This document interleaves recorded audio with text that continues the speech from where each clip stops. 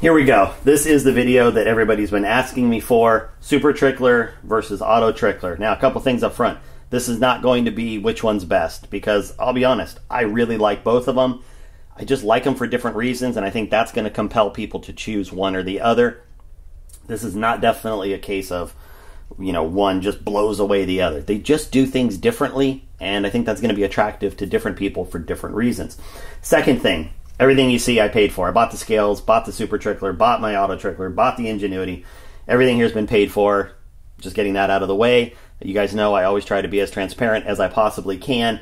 Uh, but in this case, everything has been paid for. Uh, no discounts, no nothing. So, uh, let's talk about just starting off the form factor of the two. Super Trickler, uh, some people have, you know, made different nicknames for it, but the fact of the matter is that it's a very nice enclosed unit. And, um, you know, while it looks like a kitchen appliance, I think that is sort of the attractiveness that a lot of people find in it. Um, it looks like a finished product, and I, and I think a lot of people are drawn to the, the fit and finish of it. Um, it's very well made, it's very well assembled. Um, I really like the design of it, and I like how it has the built-in enclosure, which I'm going to show you more about the Platen and why it's designed the way it is. Um, the V3 that I have here, obviously an older design. You know, you've got your powder measure on top, you've got a trickler on the side, whether it's the Ingenuity Precision or the regular trickler uh, that it comes with. You know, it's going to occupy a lot more real estate over here. The one I don't have right now is the V4 auto trickler. And to be fair, the V4 is going to be a much closer comparison to the Super Trickler because, for one, the form factor is about the same. It's going to sit on top of here.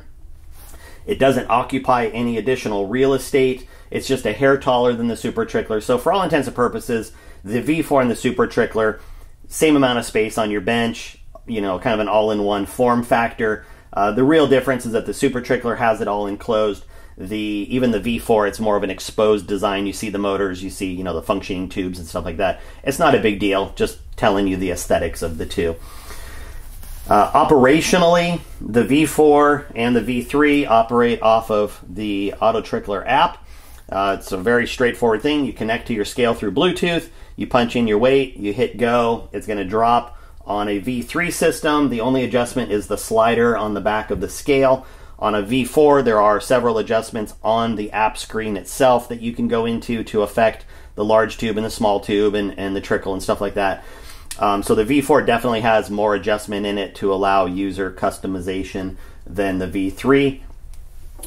And the Super Trickler is an all in one screen. So uh, when you turn it on, it's actually going to turn on the scale as well. All of your scale functions are driven through the screen here. So calibration and other things like that you do through the screen up here.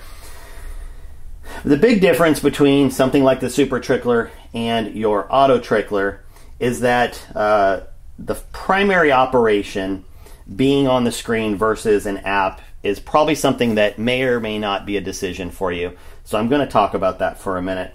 With an app, the advantage is that uh, it's on your phone, you have it, if if Auto Trickler makes an update to the software, it is typically pushed right to your phone through an update. So if you have Android or if you have Apple, it's going to go right into it. And, and if there's a tweak to the system, you may not even know that there was an update to the actual system.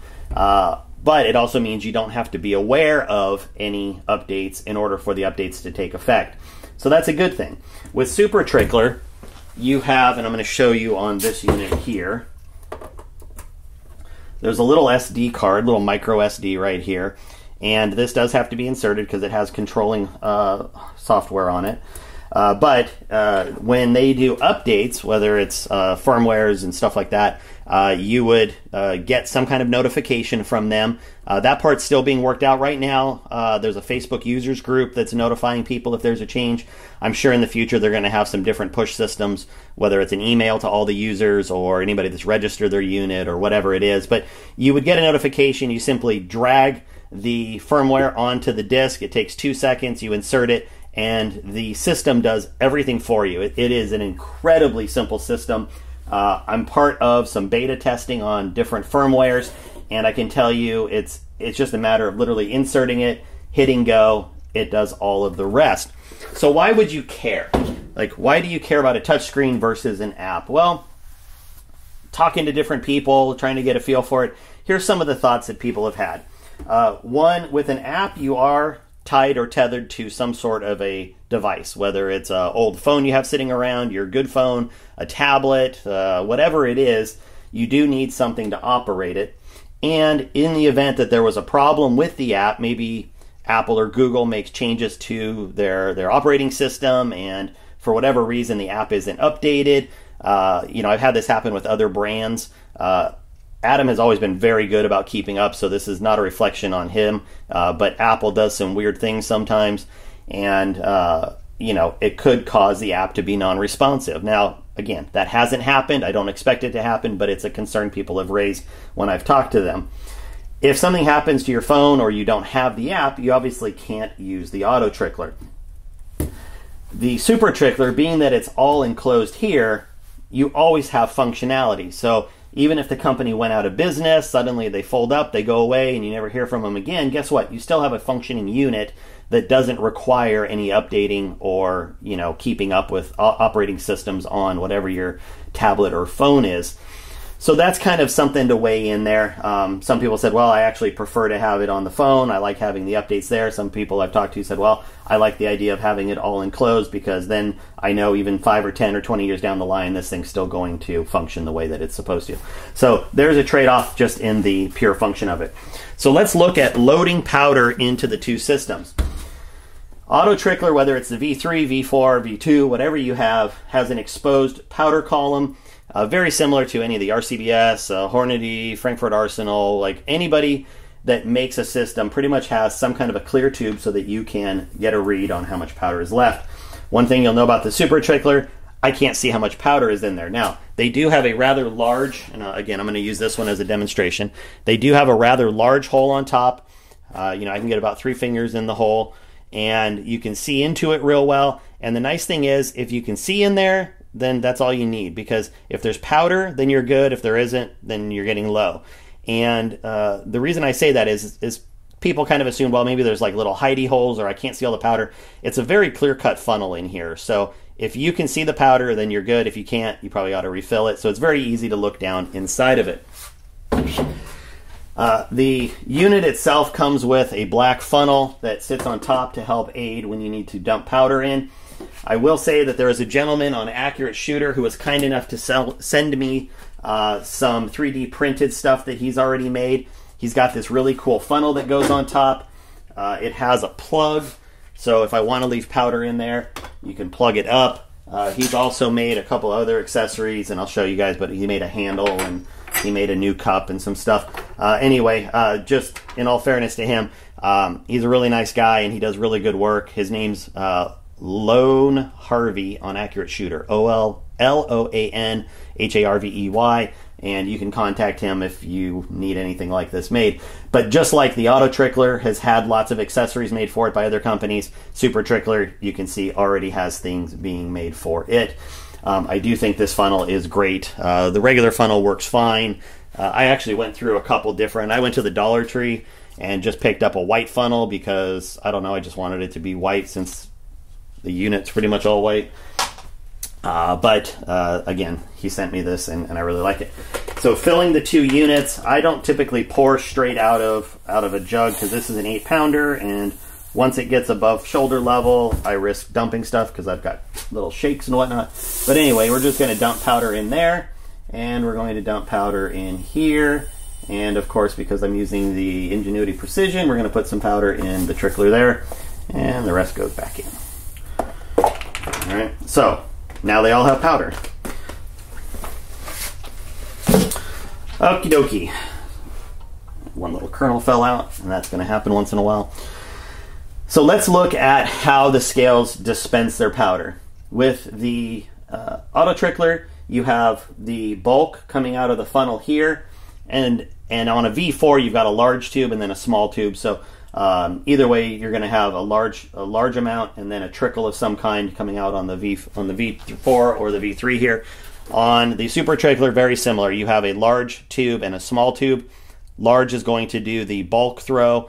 The small tube is going to do all your other things like fine, slow, pulse. um, it can operate in different functions. So it can just simply vibrate constantly. You can pulse it. You can do different things with it to affect how the powder comes out. And that that is really important because it's um, it lets you tailor it. Like there's some really big powders, like some of the big Reloders and some of the Vihtavuoris and like you know um, BMG 50 and stuff like that, where they they just meter a lot differently. Or you might have something like a ball powder uh, that is going to meter completely differently than any kind of extruded powder. So functionally, they're all going to work on the same concept. Drop a bunch of powder, throw some more powder in, uh, you know, at a rate until you get close to your target, and then trickle to your target. So most of these are going to work in some kind of a three-stage system that way. That's what Auto Trickler does, and that is what Super Trickler does. I'm going to go ahead and put uh, this. Now, I always prime uh, my Auto Trickler just to get that filled on a V4. Uh, you can prime the big tube. It's not totally necessary, but um, it is functional. Uh, we're going to go ahead and run a. Um, we're just going to go ahead and run one just to kind of get the tubes primed a little bit here. And it's mainly the small vibration tube that takes a second to get primed up. Um, so we're going to let that go for a second. But functionally, they're about the same uh, in terms of, again, the three stage functions. And all right, so we've got powder coming out. Okay. Yeah, yeah. So uh, we've got cup on, it's ready to go. We've got a cup in here. I'm going to go ahead and power this up and make sure that my phone is connected because the main thing everybody's asking about is speed. And I'm as guilty as anybody. Speed matters to me. Uh, if I'm loading three, four, five, six hundred rounds for a big match, um, you know, every little bit kind of adds up. But before I get started, and this goes for no matter whether you're using an auto trickler or a super trickler, but super trickler did something really smart, and I'd like to give a big shout out to um, uh, this girl Haley um, uh, Haley Hubble, uh, who is a friend of friend of mine, and she was kind enough to print out an entire instruction manual for me. Um, so that's really nice. And my buddy is big into the super tricklers as well, so uh, he actually got his just a little sooner. Uh, she saw that he really needed a printed out one, printed one for him, and then printed one out for me, and I thought that was really nice. So, um, but in here, they have a nice little section on the trade offs between speed and failures. And this is something that gets talked about a lot and I think this is where people get really hung up. They want a system that is just stupid fast and they want it to be perfect. And look, that's just not going to happen. Like, you just can't meter powder in two or three seconds and expect it to be perfect. There's going to be time trade offs. And this gives a really good example, and I'll just kind of read it to you in case you don't have this manual handy, which is um, if you were to do 100 charges with zero failures, which look, I can tune both of these to be absolutely perfect every single time they throw. Uh, but it does add time. And if you were to make those charge weights take 20 seconds, okay, your total time would be about 33 minutes. Now, if you could cut that time to six seconds, but have a 10% error rate, right, which sounds like a lot, you know, one out of 10 charges being wrong, you would actually shave your time uh, down to uh, 11 minutes right? So you'd be saving 22 minutes if you accept a 10% error rate. And if you split the difference uh, and go to like a 10 second time, then you would be looking at 18 minutes. Uh, sorry, you'd be looking at, uh, yeah, 18 minutes, which would still be saving you 15 minutes of drop time. So I, I think the notion of, like, oh, I need to get this thing as perfect as I can. You've you've got to be willing to let it go, and I I let it go a long time ago, uh, even before the V4 was out. I was willing to push my unit as fast as possible, knowing that I'd be throwing back some percentage of throws, and it just doesn't irritate me. Like I just that, that part doesn't bother me. So, um, you know, your mileage is going to vary on that. It's a very personal choice. Um, you know, you're going to have to make a decision on on what's important to you, but uh, you know that's what matters to me. So I'm going to go ahead and put 56.4 on here. We're going to run a charge and we're going to run a charge and then I'm going to do them head to head here and show you. I just want to get both of these running.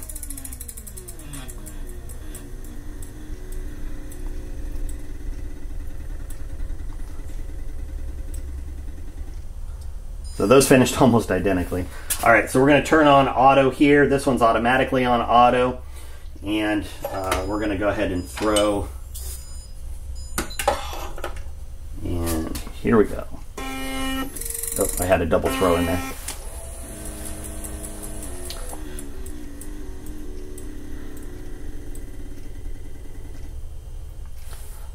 This one got just a little behind, but anyway, you can see there. So that was 10 seconds. This was just a hair faster on that one. All right, here we go.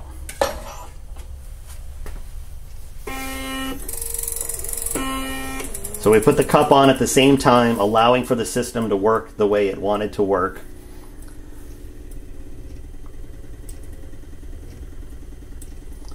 Okay, so we're done here in 11 seconds. This one finished almost exactly the same. And I'll say this is about the average. I, I get somewhere between 8 and 10 seconds on each unit. It, 6 to 1, half dozen to the other sometimes. Auto trickler I'm super familiar with. I can I would say that my my auto trickler is running at, you know, 99%, 99 plus percent efficiency. The super trickler is one of those things where I am still, you know, figuring out all the screens, figuring out exactly how to get all everything to mesh. You know, and in all fairness, that one took a little bit longer. And I'm not going to beat this, you know, too hard because uh, you know, at the end of the day, I can affect these in a lot of different ways to make it look good on camera. I'm just trying to tell you this is how I run it and this is how I'm running it. I'm not playing any games with the systems here. So that one just finished. You know, this one I still need to work on a little bit, but this is how I'm dropping powder right now. So uh, this one, like I said, I've been in the 8 to 10 second ballpark for the most part. Um, just kind of the way it is. So let's turn off the auto so we don't actually throw, and we're going to turn off the auto trickler. Uh, so uh, that gives you a good idea with that. Now let's talk about kind of fundamentally where each one is going. Now the auto trickler, kind of like we talked about, it, it's a great thrower. Like I don't have anything against it. I think it fits a lot of people's needs really, really well. The V3 is just for pure speed. You still it's not a, it's not the best unit for doing like powder tests where you have to do ladder tests and keep bumping up charge weights because you have to make manual adjustments. If you switch powders um, you know it's it's a process to you know readjust how much the coarse drop is or the bulk drop. Uh, but if you have a v4 you know it's made for very easily switching powders and stuff like that uh, so is the Super Trickler. So uh, both of them will auto adjust very quickly to different powders that are in there. One of the big differences, however, is that the V4 and the V3 for that matter don't have any way to save any of your previous powder charges. So you have to typically keep some kind of a logbook, um, you know, where you were set, maybe what your calibrations were, like on a V4. On a V3, you might make some notes of where where the screw was. Um, and so both of those uh, on the auto trickler side do require some manual intervention into some kind of a logbook if you're doing a bunch of different cartridges. Super Trickler has, uh, you know, they call it near infinite. Uh, I can only guess that it means they have enough memory in here that they can't conceivably think of somebody saving enough cartridge data to exceed that that amount. But obviously, there will be some cap on it.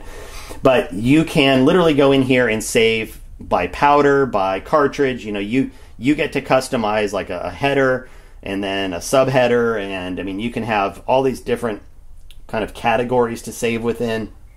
So it gives you a lot of power to to you know really customize all of that, and you can export a lot of it into Excel files so that if you want to put that data into some kind of a spreadsheet, uh, you can definitely do that. You can pull out your good throw, bad throw data. You can throw you know you can get a, an exact list of all your charge weights. Like there's a lot of data that you can pull out of here if that's something that's important to you.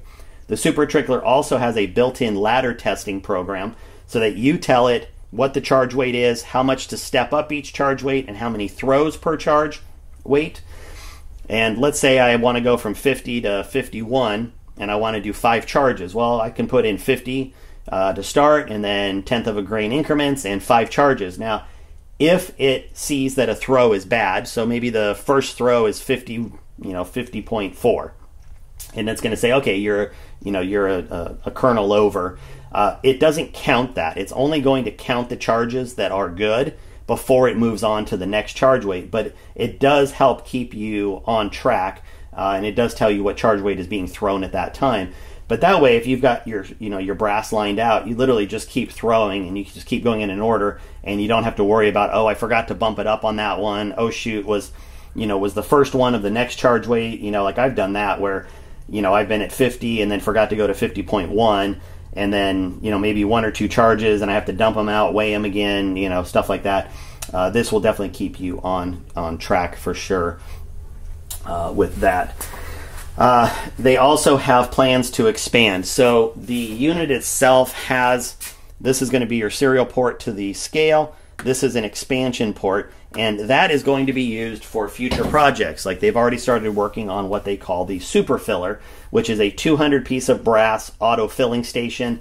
Uh, again, it will know if there's a good charge or bad charge, fill your case. It'll have a, a collection bin for bad charges uh, if it needs to dump off a charge, uh, but it will autofill. They are also working on um, integrating like a, a, bullet feeder system for uh, sorting bullets. Uh, I mean, I'm trying to think what else they told me. There's a bunch of stuff that they've been working on. But the, the fundamental thing with Super Trickler was not to you know directly compete with anything else, whether it was RCBS or Auto Trickler, whoever. They really wanted to co- uh, create a complete system for reloaders, and so if that means autofilling, sorting things. Um, they wanted this to be able to be kind of the the brain of it, so that they could have all of these different add-ons to assist the reloader in things that they need to do. And I think that's a pretty cool feature in it. I think it will also and I don't know how it's going to work, but you know, there's always the possibility that people are going to figure out how to build their own accessories for this. Um, I have no idea how accessible any of the code is, uh, and I don't know if they're ever going to open up any of the code for general purpose use. But uh, you know, it would be really cool just with all the 3D printing and people out there that like to tinker. Uh, it would be cool if down the line there was some functionality that let you, you know, have some basic functions in here to do something on your own. Um, you know, I don't know, but but the fact that this is an onboard computer with the expansion ports really gives you a lot of possibilities, um, even if it's just from the manufacturer. Uh, aside from that, uh, emptying powder, that's another question that comes up. Uh, with my V3, for instance, it's pretty straightforward. A V4, you know, you're going to, uh, you know, simply close the gate just like you would here on your powder. Uh, in this particular case, I'm dropping the extra powder that's inside the measure into a cup. Uh, I'm then going to dump my powder out, which you know is easy enough. And then I'm going to pull my trickler powder and the cup powder. And on a V4, everything's inside the tubes and a little holder on the back. You would simply dump it out the back, blow out the two tubes, make sure they're empty, you're good to go. So I am going to dump my powder back in here real quick. and I'm going to show you uh, both on a second unit and then on the actual unit what is being done and what they've done.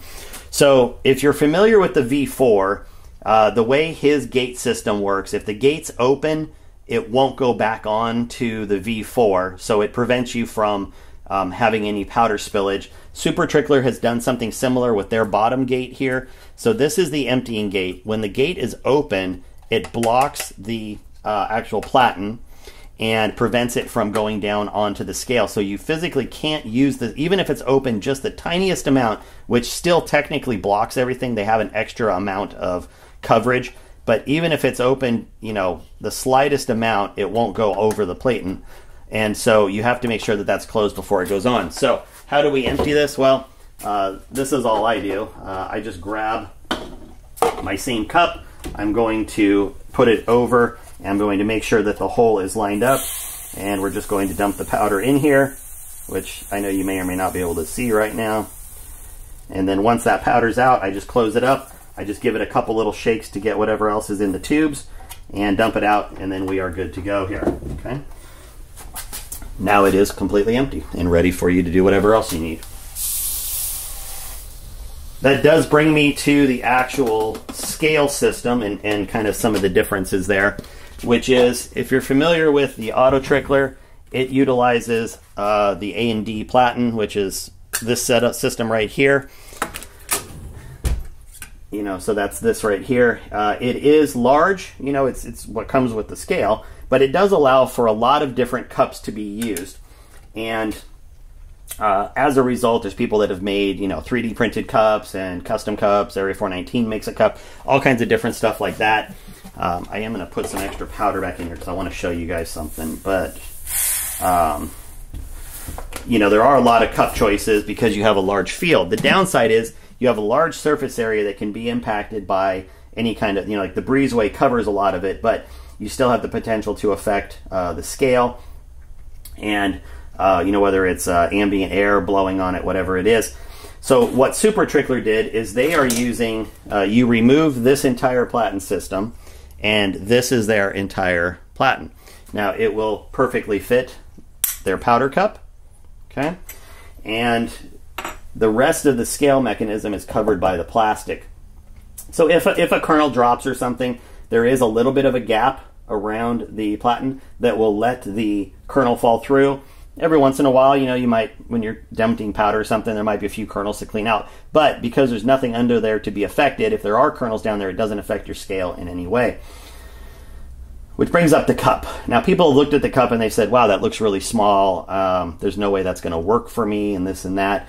Keep in mind, Auto Trickler ships with a sh- basically a, a shot glass uh, looking thing um, and it holds plenty of powder. This is no different. I think some of us have gotten spoiled, myself included, with uh, big old cups like this. Uh, but just to show you, I'm going to weigh out, uh, you know, roughly, I don't even know what a big charge would be for like 50 BMG or something, but let's say 250 grains, 270. So here's 270 grains of powder. Okay and it easily fits in this cup with some room to spare. So I don't know how much more than 270 grains of powder you'd need in a single throw, but uh, if you do for some reason, just know that you can get to at least 270, probably 300 or a little bit more. Uh, the handle is definitely a little bit shorter. Um, I do have slight shakes and, and getting it in there uh, since I it's kind of a blind shot for me because I don't have it up on a, on a shelf. Uh, you know, I have found that my hand has hit the unit once in a while. Uh, that same gentleman, Lone Harvey, also makes this little adapter that fits onto the cup. Uh, I have been using this 100% of the time now, and that prevents me from having any of the mistakes that I was having. So that works great for me. So that's uh, that's the scales. That's the actual mechanisms. Uh, some of the philosophies of kind of what the units do and how they work. Uh, I am going to be doing some Super Trickler specific videos on the programming side because it's going to take some time to show how all of the features interact with each other. And I really want to make sure that when I do that, I can really show you guys how, if you have one of these or end up with one of them, that uh, that you're able to at least feel like you are affecting change. So that brings up the last thing, which is the artificial intelligence of the Super Trickler. So we've kind of seen this before with some other systems where it says that like powder optimization and flow rates and stuff like that. Um, and all of those are working towards the same goal, which is taking your powder and delivering it the most efficient way into the cup, both for accuracy and speed. What Super Trickler does is it has uh, within within the profile it has a self learning mode. Uh, they don't necessarily call it AI in here, but it's a self learning mode which has uh, bulk thresholds, fine thresholds, pulse um, you know, some acceptance within like the learning mode. And the important thing to remember with the self learning, at least at this point, is that it's really powerful, but it's not going to uh, like fine tune a charge. The fine tuning is still a manual process because there's different ways to affect that. But what the AI, from what I have found so far, does a really good job of is it, it lets you put in a powder, put in a charge weight, hit go, and within a few charges, it gets you really, really close to the right proportions of bulk, fine, and pulse. And then you can turn off the, the um, self learning, and then you can tweak around with it. Okay, I want to decrease the, the amount of powder in air, and I want to you know increase the pulse rate and the vibration, and I want to do all these things, uh, you know, for my particular need and I've gotten really good with that so far, and and really kind of enjoy it now. Uh, I'm not going to lie; it, it, was not a an instantly gratifying experience for me. I think I went into it expecting the AI to be perfect. You know, like oh, it's going to just drill down my load, and within 20 charges, it's going to be running perfect. it just doesn't do that. It got me really, really close, and you can technically leave the self learning on.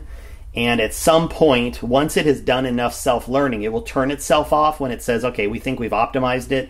Um, but I will just tell you that at that point, you can still go in and fiddle with it if you want. You don't have to. Like, it's not totally necessary. It still does a fine job uh, on the self learning, but it does give you the the ability to do that. Uh, as far as what it comes with, the Super Trickler is going to come with the unit, a plug, a cup. Uh, it does come with a little cleaning brush.